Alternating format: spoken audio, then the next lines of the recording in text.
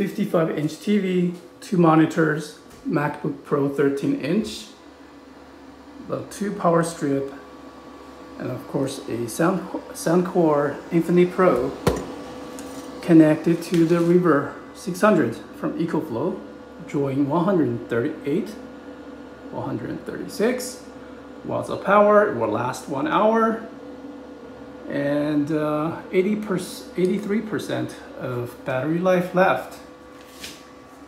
And this is just a MacBook, a Mac Pro case with casters on it.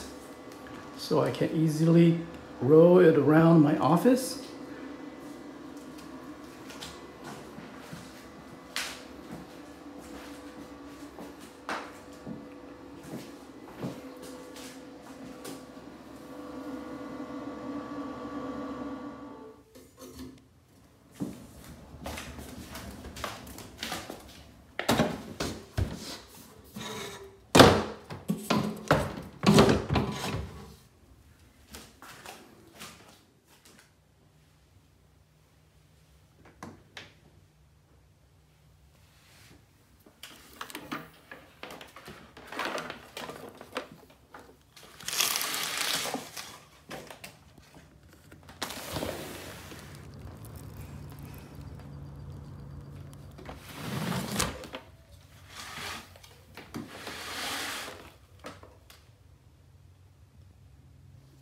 Loads test, USB-C 100 watts, power delivery port to charge another device, which is my MacBook Pro 13 inch.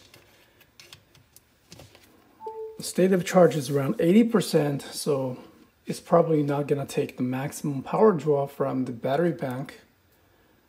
Um, it will max out at 30 watts probably, and that is the hours remaining. We have a flashlight here. And a reset button for the Wi-Fi connectivity. DC port here with the 12 volt regular uh, 12 volt port. I'm not sure if this is regulated or not. Um, well, uh, let's keep connecting more devices. This is a very old HTC phone. USB, uh, micro USB cable. Another Anker battery bank I just got. This should take about 10 watts of power, 5 volt, 2 amps. Another Type-C, which I can use to charge my uh, tablet. So there you go, maxed out uh, all the ports here. And we are doing about uh, 60 watts of output, charging all these devices.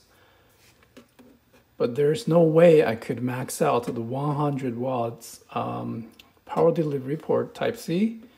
I do not have that kind of uh, power demanding device. Okay, look, that's uh, 57, 58. All right, let's see uh, the recharging speed. Let's connect it to a uh, the AC cord. So we got a uh, AC port and a fuse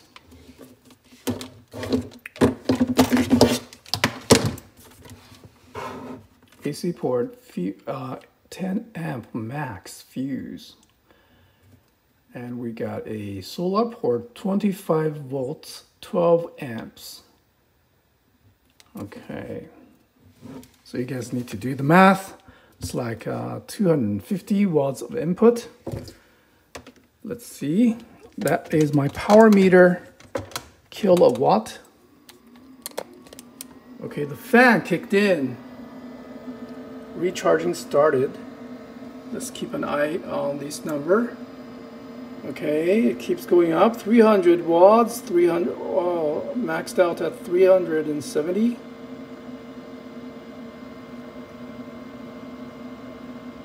Three hundred. Okay, and the thing says 350, 361, 328. There must be a little bit of conversion loss.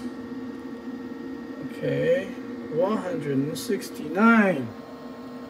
Yeah, it is pretty consistent with the reading here. And the load is only under 60 watts. So if I'm gonna unplug one by one, does it make a difference? I'm gonna keep the MacBook Pro here, which is doing, says, uh, that number is just inaccurate. It's never accurate. 30 watts.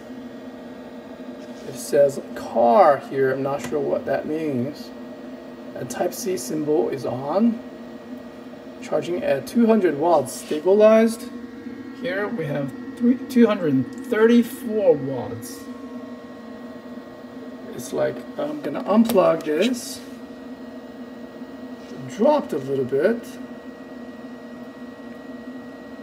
That's very interesting. Okay, it keeps going up. It takes 37 minutes to charge at this rate.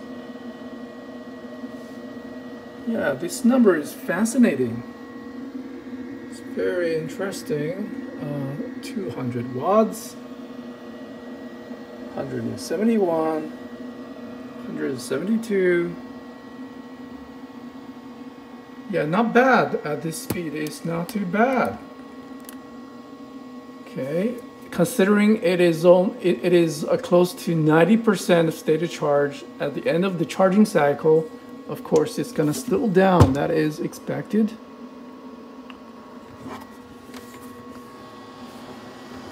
The fan noise looks like, uh, yeah, that is exactly the fan. Yes, that's the fan noise.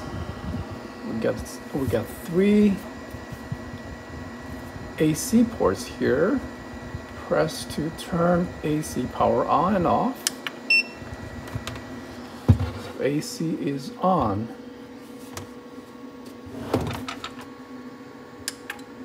AC is off. I would prefer a long press to enable and disable because it, it's just easy, you know, for you to do it by mistake and, you know, accidentally turn off your device. So it is at 88%, charging at 173 watts, 34 minutes remaining.